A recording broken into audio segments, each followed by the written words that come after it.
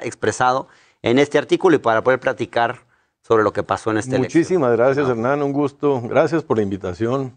Es un tema crucial, el no engañarse, no hacerse güey y tratar de leer bien qué está pasando, porque si no, pues nos va a ir peor.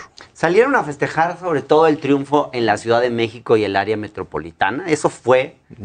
Acuérdate antes. ¿Qué es lo que El día anterior festejó Alito todos los triunfos en todas las gubernaturas y perdieron ocho.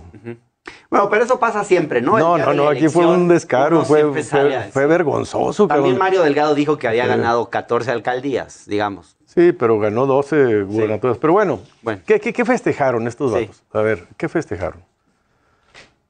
Festejaron que ganaron alcaldías en la Ciudad de México y no lo dijeron, pero también se ganaron muchas en el Estado de México. Pero si estuviéramos jugando ajedrez, es como si tú me dices, te gané muchos peones, pero perdí muchos alfiles y caballos. Pues sí, güey, de eso estamos hablando. Eh, no hay, no hay honestidad hay manipulación, hay ganas de pintar de rosa algo que está caliente, que está feo. Usted escribió, es un autoengaño afirmar que le quitamos la mayoría calificada a AMLO para impedirle modificar la constitución. La verdad es que en 2018 tampoco ganaron esa mayoría calificada. Ahora, aumentaron, aumentaron su número de diputados. ¿Sabes cuántos? ¿Cuántos? 27. 27 ya, Ya después de pitos, flautas este, y todo lo que vaya a pasar, al final del día, el bloque opositor va por México, PAN, PRI, PRD, sumados, votar para votarlos, aumentamos 27 diputados. Sí. No es una gran cosa. Déjame darte otro dato. Fox, Cedillo, Calderón y Peña perdieron muchos más en las intermedias que los que perdió Andrés Manuel. Perdieron entre 40 y 60 cada uno. Sí. Y este señor pierde 27. Y entonces decimos, no, es que le quitamos la mayoría calificada. La mayoría calificada, dos cosas. Dos cosas, Hernando. Importante. No la ganaron en las urnas en 2018. No.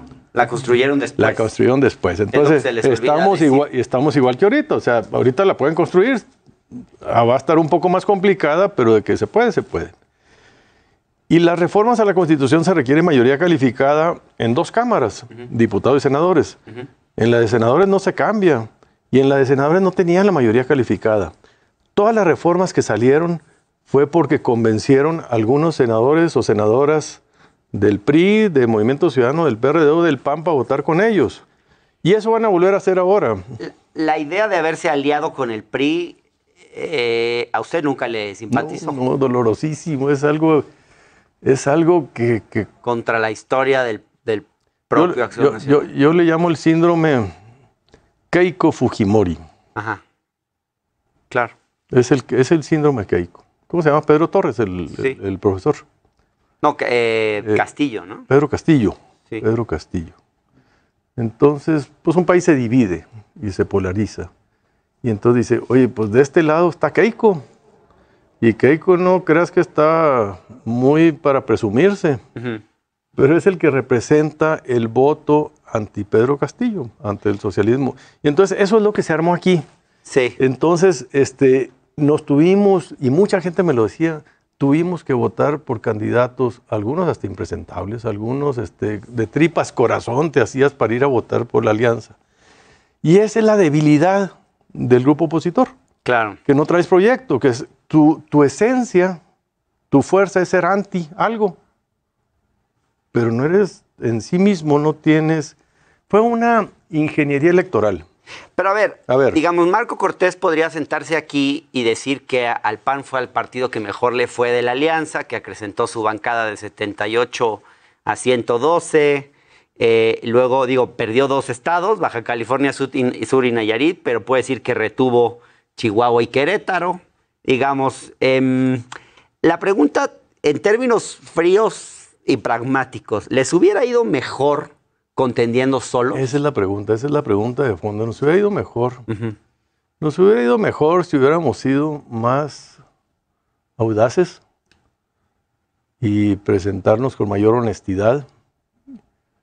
y menos tratando de hacer sumas de estructuras, que fue lo que sumaste eh, territorios, eh, presupuestos, gobiernos este, pautados para construir una alternativa, pero sin sustancia, no tenía sustancia. Su, su aglutinador es el anti-algo, ¿no?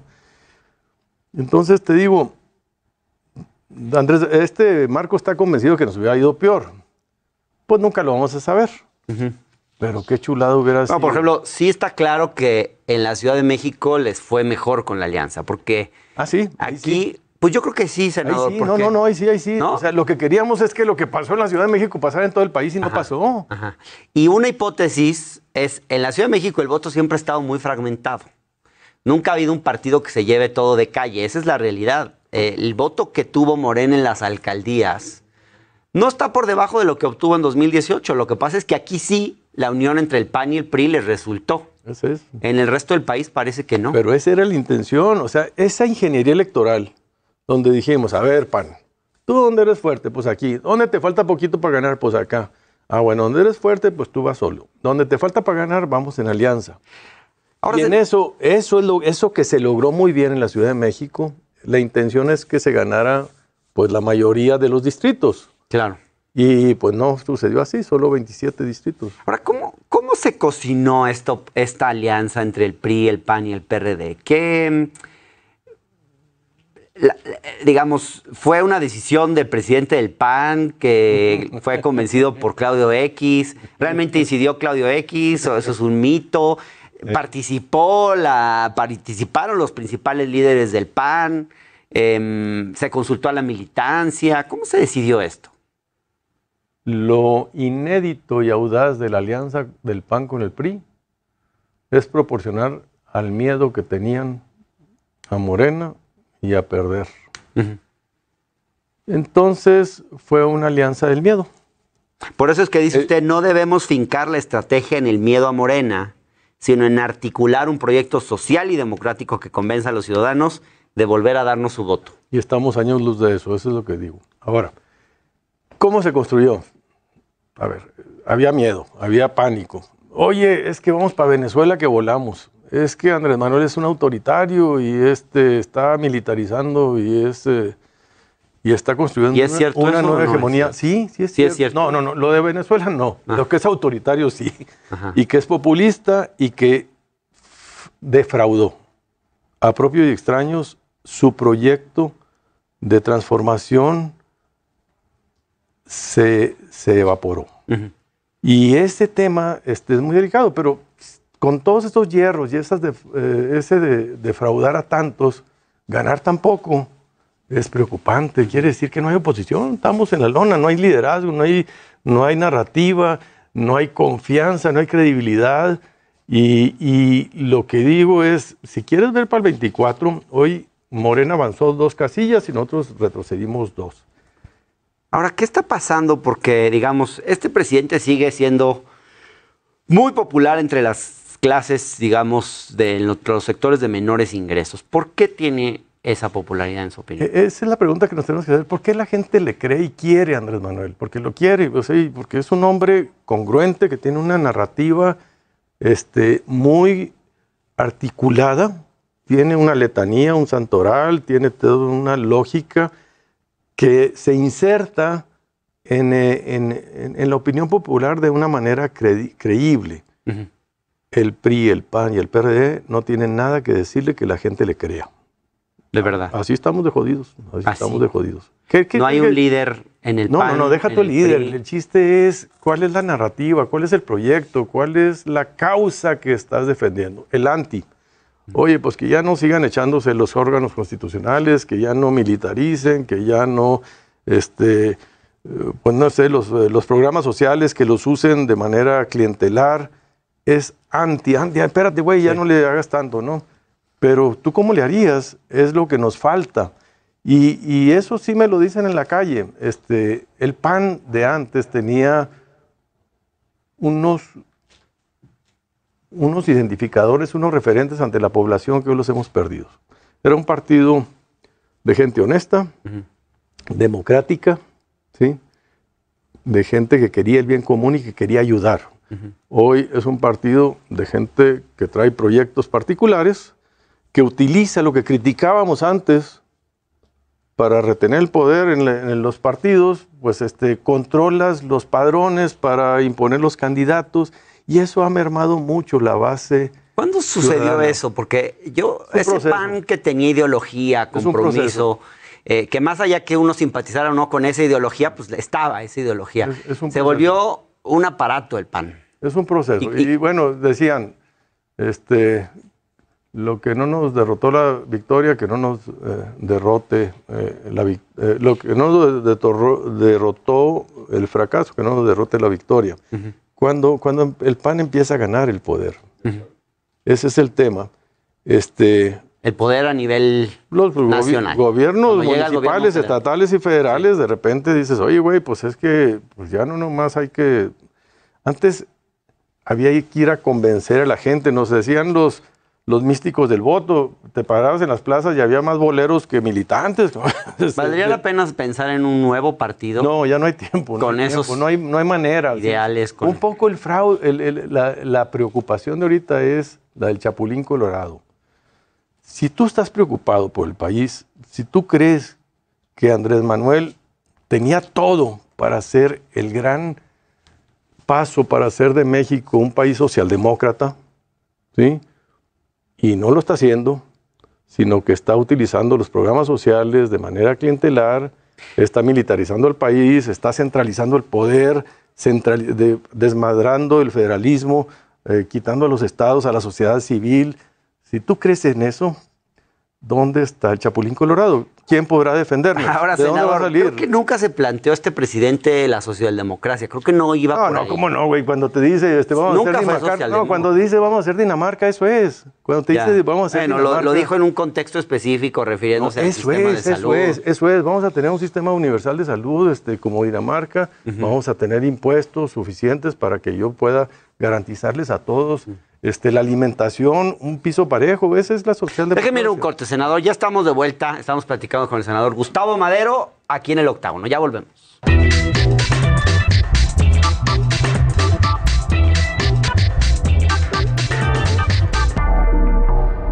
Gracias, estamos de vuelta en el octágono platicando eh, con el senador Gustavo Madero, haciendo un balance sobre lo que ocurrió en esta elección si a la alianza le hubiera ido mejor, eh, si sus partes hubieran competido solas o no, en fin, varios temas que estamos revisando. Senador, usted dijo que con los resultados obtenidos en esta elección no alcanzaba para vencer a Morena en el 24. Parece que Marco Cortés le contestó porque justamente dijo que sí les alcanza y que están al tú por tú. Así han dicho, estamos al tú por tú con Morena. Eh, ¿Qué piensa de esto? ¿Tiene poco contacto con la realidad del presidente del PAN? Sí, no estamos al tú por tú, estamos al tú por one. Este, mira, este, él se está asumiendo el tú por tú como si fueras este. ¿Se está igualando? Sí, sí, sí, sí. ¿Se está igualando? Es, igual. A ver, este, acabo de sacar un tweet antes de subir las escaleras aquí. Y te digo que si fuera elección para presidente de la República, nos hubieran ganado otra vez. Voto contra voto. Ah, bueno, claro. Voto contra voto. Los votos del bloque de la 4T contra, los contra el bloque no 4T fueron como dos millones más. Entonces, pues no, no te puedes poner, este, pues de eso estamos hablando, del futuro del país, de construir un proyecto que, que construyera una mayoría. Mira, no nos hagamos güeyes. Ahorita decimos que lo que queríamos era quitar la mayoría calificada. No es cierto. Queríamos quitar la mayoría. Queríamos que el presupuesto lo tuviera que negociar con la oposición. ese es el objetivo que se planteó era, la alianza. Ese era, no nos hagamos. lo puso por escrito. No, no, no. O sea, no nos hagamos. Hasta el presidente de la República, Andrés Manuel López Obrador, lo dijo en una mañanera. Y lo vio probable. Dijo, y si me llegan a ganar la mayoría en la Cámara y me aprueban un presupuesto distinto, yo lo voy a vetar. Lo dijo, porque eso es lo que estaba en juego. Lo que estaba en juego era hacer lo que le hizo el Partido Demócrata a Trump. Quitarle la risa. Y lo, que, le pasó, digamos, al foxismo después de su tercer año de gobierno. Eh, no, desde el primero él nunca tuvo la mayoría. Nunca, nunca, nunca. El PAN nunca tuvo la mayoría. Este es una, este es lo que yo digo. Andrés Manuel es el hombre que tenía todo para hacer los grandes cambios del país y no lo ha hecho. Y más bien los que ha hecho son más preocupantes. Pero ¿de qué se trataba la película? ¿Qué le pasó a Trump en la intermedia? Pues le ganó la mayoría el Partido Demócrata y lo que odiaba Trump a Nancy Pelosi se tuvo que sentar con ella a ver mi reina cómo platicamos y cómo nos ponemos de acuerdo. Esa foto en México nunca la vas a ver Andrés Manuel sentado con nadie de oposición, porque es un autoritario, porque es un autócrata. Pero de eso se trataba, de obligarlo, a, sentar, a negociar las leyes, los Pero ha habido negociación en la Cámara, ha habido... Eh, el senador Monreal ha sentado a todos a negociar. la Guardia Nacional... No, no, no, no te, no te burles. A ver, tú vete a la Cámara de Diputados y di, suficientemente discutido, mayoriteo. Cualquier propuesta, cualquier modificación es una aplanadora como nunca. El PRI tenía los votos para ser aplanadora y tenía un poquito el manejo de dorar la píldora e incluir dos, tres cositas que le ponían los otros. Los casos extremos de la Guardia Nacional, casos extremos que fueron cuatro, ¿sí? como la Guardia Nacional, fue una burla que sirvió para dos cosas. ¿Tú sabes cuáles son las dos cosas? Yo tampoco. Usted ha criticado la ausencia de liderazgo en la oposición y, escribió también en este mismo artículo de, en el Heraldo de Chihuahua que hay que leer. Usted escribió, por lo pronto, ese liderazgo está difícil que surja hoy en los partidos cooptados por dirigencias con proyectos egocéntricos. Síguele.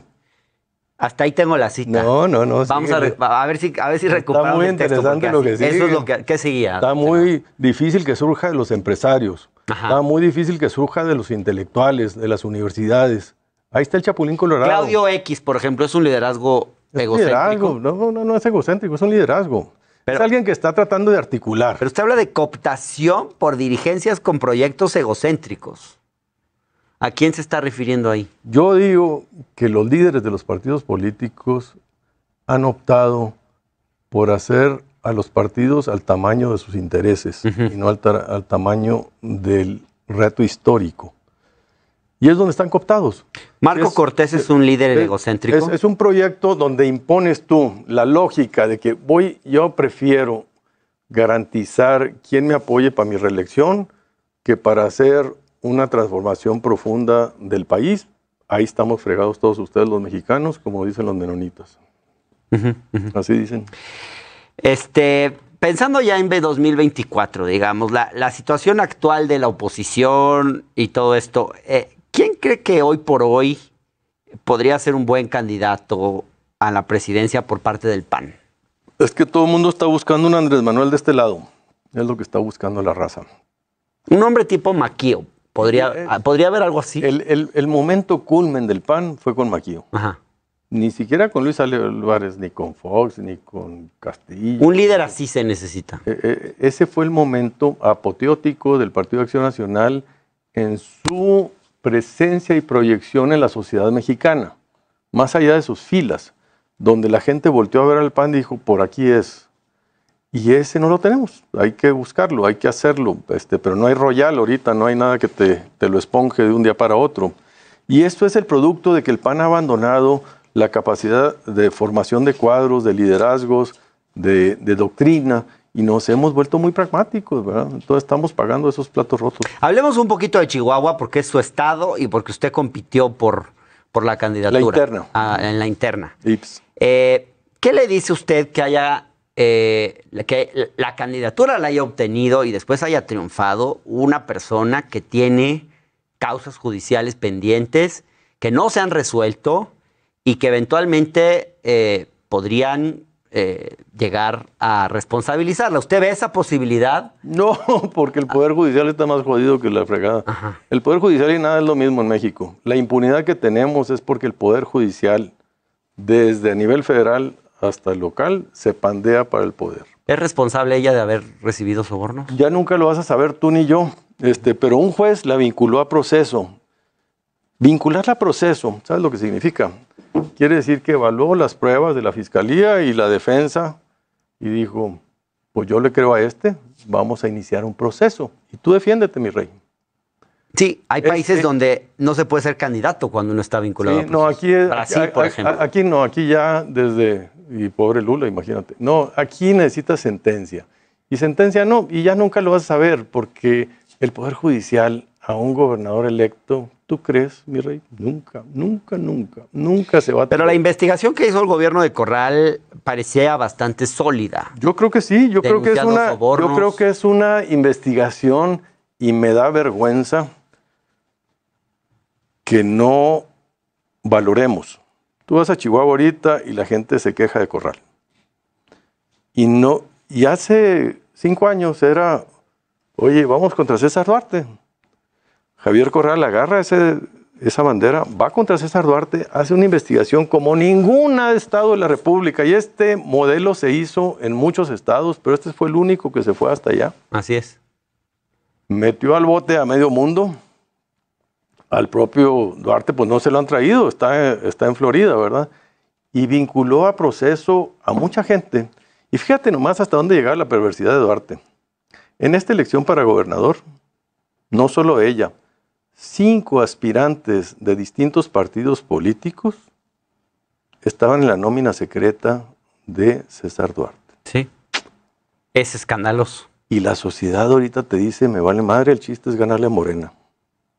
Eso es escandaloso. Eh, sí, pues sí. Y entonces, ¿en dónde estamos? ¿Qué tipo de sociedad de ciudadanía tenemos? ¿Qué estamos jugando? A Corral lo critican porque hizo el expediente para todos, pero para ella, ¿por qué no lo guardó? Es un poco lo que estás diciendo, pues si era la que le podía ganar a Morena.